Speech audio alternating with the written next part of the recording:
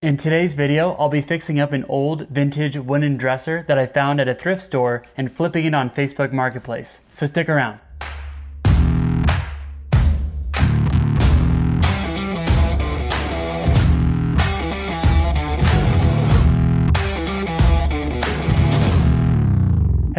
Side Hustle Steve here, and this is the only channel on YouTube that gives you money every week for finding a random sloth during the video. So there's that. Before I get into today's video, I need to address the new piece of wall art that I have. As you can see, it says presented to whatever your channel name is this week for passing a thousand subscribers. It's a little inside joke I have with YouTube because I've changed my name so many times. They even signed it at the bottom. This is real YouTube. So that's pretty cool. Apparently, 100,000 subscribers is silver, a million subscribers is gold, 10 million subscribers is diamond, 100 million subscribers is red diamond, and a thousand subscribers is uh, Crayola. So there's that. Seriously though, thank you to all of you who subscribed to my channel. I'm shocked at how quickly this is growing and I love being a part of this community. Keep letting me know in the comment section what I can improve on. I respond to everything and love knowing how I can better serve all of you. Without your support, I'm just a guy in a room talking to his phone by himself. So thank you. Okay, back to the video. If you're new to the channel, last year I paid off $42,000 worth of debt with the help of a few side hustles. This year, my mission is to turn my $600 stimulus check into $20,000 by the end of the year, only doing side hustles. As of last week, I had a total channel profit of $7,006. Stick around to the end of the video to see where I'm at now. All right, now for last week's $50 winner. After randomly generating a number and sifting through the comments, congratulations, Roma G, you are the winner. I hope the $50 helps you on your side hustle journey. For this week's $50 giveaway, subscribe to the show, timestamp the sloth, and then comment which YouTuber gives you inspiration in the furniture flipping space. There are so many great flippers out there. Furniture flipping newbie, the furniture flipping teacher, who just paid off her student loan debt with the help of flipping furniture, which is awesome. Congratulations, Jamie and Sarah, Christina Muscari, and that shabby guy, just to name a few. I want this community to keep growing, so please check out the other YouTubers if you haven't already. All right, sorry for the long intro. Today I'll be fixing up an old vintage wooden dresser that I found at my favorite thrift store. I had a lot of fun fixing it up and I'm super pumped with how it turned out. If you want to follow along at home, I have links to all the products I used in the description box below. I get a small kickback whenever you use. So picking it up for 45. It looks in really good shape. No like dings or nicks or anything. It's just, it's just dirty and I'm gonna be sanding it down and repainting it anyway. It looks really good.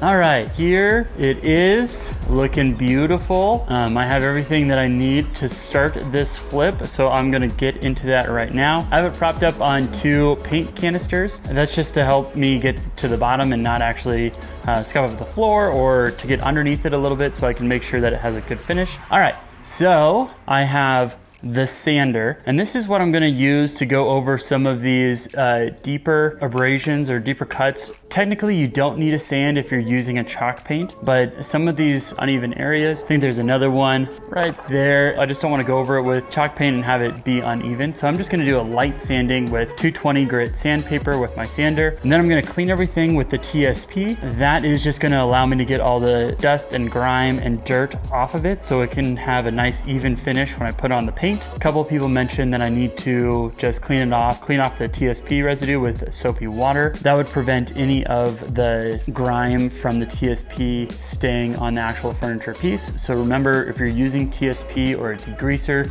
to clean it off with soapy water after. Then I just have a paintbrush that's gonna help me get into all these crevices that I can't get into with the roller. I have a roller, and then I'm going to be using a dark gray chalk paint. Um, so I'm pretty pumped about that because I think it's gonna look really really good. I just ordered all the hardware off Amazon. I'll show that whole process right now, and that should arrive in a day or so, so I'm pumped for that to get here. Last time I just spray painted this, which you could do, I just don't like this hardware as much, so instead of spray painting over it, I'm going to get new hardware off Amazon. And then at the end, I'm gonna go over with the polyurethane fast drying protective coat. I did that last time. It saved me so much time because that polyurethane coat still puts a nice coat on it that's gonna prevent future staining and future watermarks from showing up. And it was so much easier to put on than the wax. That's what I'm gonna use and I'm gonna put you down so I can take the hardware off and then I will start the sanding process.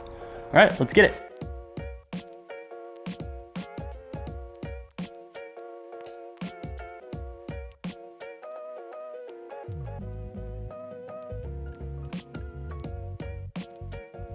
Okay, so I just finished taking off all the hardware. It's all down there. A few of you mentioned in the comments that when I take the drawers out, that I should number them. That is a great solution. There aren't too many drawers this time, so I'm just gonna keep them in a row and just paint them like that. And then I know that one goes at the top, that one goes at the bottom, and they're in like an actual order right there. And then also something that I didn't bring up earlier, I do have to put in some wood filler in these holes because I don't plan to use the same hardware hardware. The hardware is gonna be in different holes. So I need to put some wood filler in those holes, wait for it to dry and then sand that down. So eventually I can put in the new hardware. And so I'm gonna do that and then I'm going to migrate over to that and do the sanding. Again, you don't typically have to do sanding with the chalk paint, but I am this time just because there's a few scratches that I want to even out. Usually the chalk paint will probably take care of that, so I don't even really need to do it even in this situation, but I'm just gonna do it just to be careful and just to make sure that I have a good even finish at the end. So I'm gonna put you down and start on the wood filler and, and the sanding.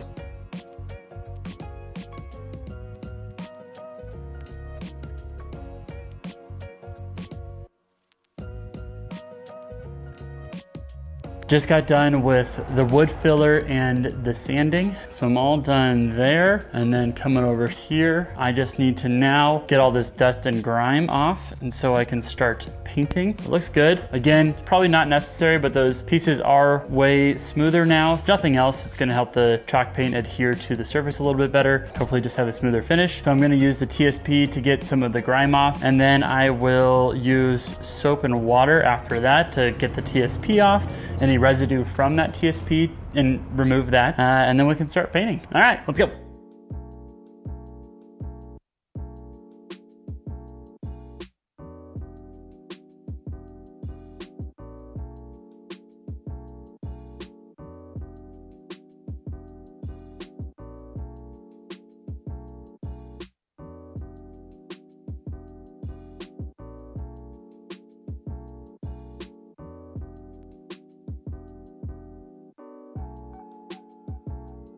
All right, so I let the wood filler dry a little bit and I also let the TSP dry. So I am good to start painting. Before I do that, I'm just going to sand these down to get them nice and smooth. I'm gonna go over that with TSP to get all the grime out of the drawers. While that's drying, I will start to paint the actual dresser. Quick tip before I start, saw a couple of the other YouTubers doing this and it's super smart. I'm gonna wrap my painting tray in tin foil and that'll allow me to have a quicker cleanup at the end. It also allows me to reuse that tray each and every time and it'll be brand new basically because I'll just take the tin foil out. And then on top of that, I'm going to do, this is just water. I'm just gonna spray it down about four times with water. I'm gonna try to cut down on the, the texture that I had in the last dresser with chalk paint. And so hopefully just a little bit of water will help reduce that texture. Yeah, give me a nice smooth, easy finish. All right, let's go.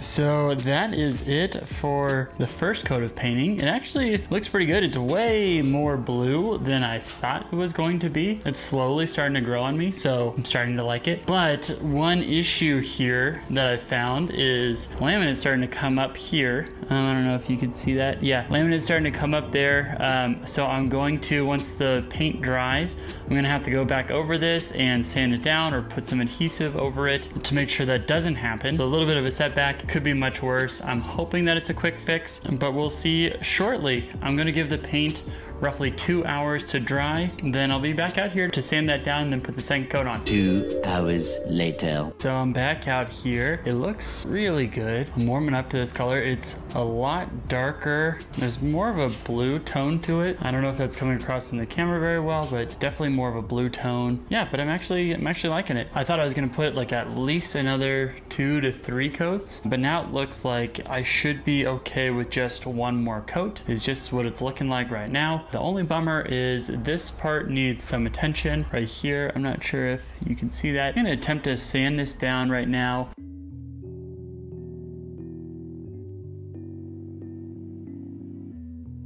All right, I forgot to mention this before, but I'm gonna put um, shoe goo on that spot. Now that I've sanded it down, it actually is, is very smooth. I don't want it to pop up again, and so I'm just gonna put some shoe goo over it just to make sure that it completely adheres to the surface. Once that dries, I'll sand that down.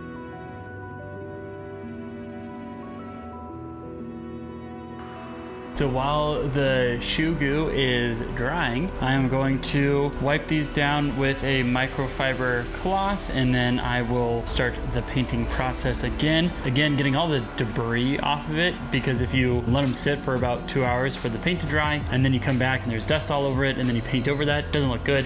I might do one, one quick sanding with the 220 grit sandpaper pad. Probably doesn't hurt just to smooth it out a little bit and then that'll also help the paint on the second coat adhere just a little bit better. All right, let's do that.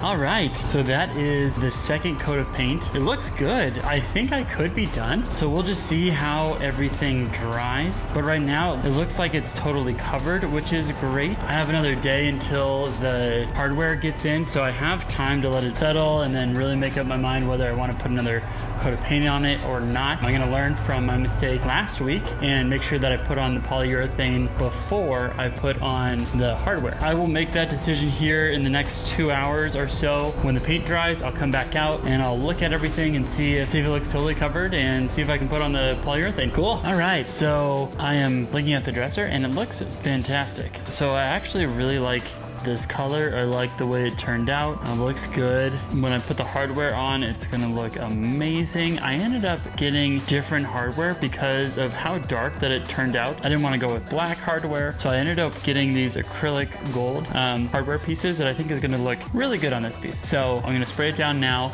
let it dry, I think it's, I think I put three coats on. In between each coat, I let it dry for roughly an hour, and then I'll put on the hardware. All right.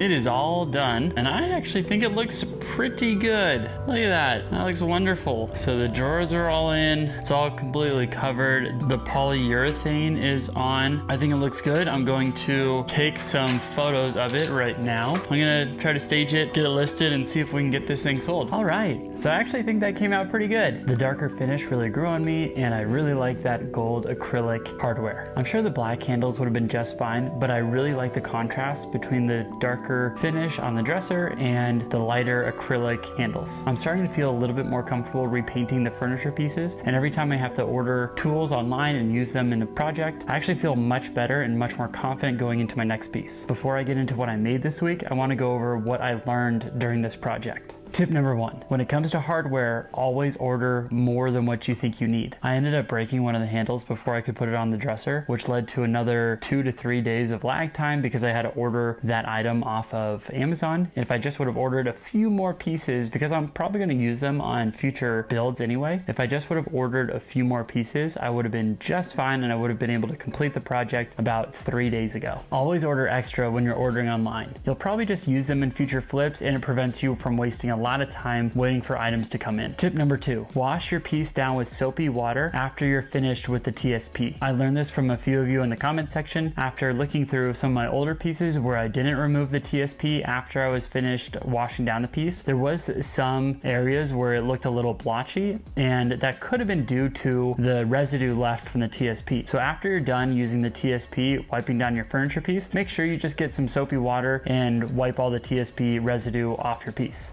Tip number three, think twice before drilling new holes for your hardware. I was unaware about how long and tedious that process would be. I ended up getting a metal ruler and a nice leveler, which did help a lot. If you're gonna put new hardware on your piece, which does make it look really nice, you're gonna have to buy a few different things to speed along the process and do it correctly. If you're trying to do that on a current piece, I linked all the things that I used in, in the description box below. Like always, I learned a ton from all of you in the comment section in the last video, so please keep it coming. All right, so let's talk about the money side. I purchased the dresser on sale for $45. I spent another $70 on paint, hardware, and tools. That cost will go down a lot as I acquire all the tools needed to just complete the project outright. But as of right now, I'm just applying that extra cost to each individual project, which means after everything, I've spent $115. In total, this project took me about five hours. And as of right now, I'm valuing my time at $20 per hour, which means I'm gonna list the the dresser at $215. Depending on where you live, $20 an hour might be low for this project, but here's what I'm thinking. I've seen other YouTubers price their items much higher, but they're also much better at this than I am, and they're also doing it much quicker than I am. As I start to feel comfortable and my craft improves,